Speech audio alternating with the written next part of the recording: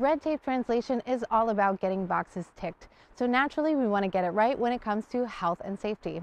So here's our current plan when it comes to providing interpreting services for you under the current and ever-changing corona regulations. Our interpreters will carry with them their most recent point of contact corona tests with you to your appointment. As per Berlin regulations, will be tested at least once per week. We all wear FFP masks, and if we're in the mood, we'll even double mask.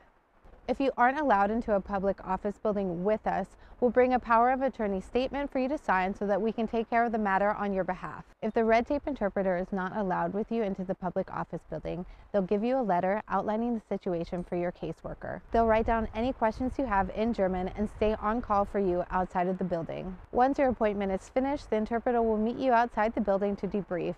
If you don't want to risk meeting an interpreter in person, book Life Admin to keep us in your pocket or book a coaching to prepare so that you feel confident doing it yourself.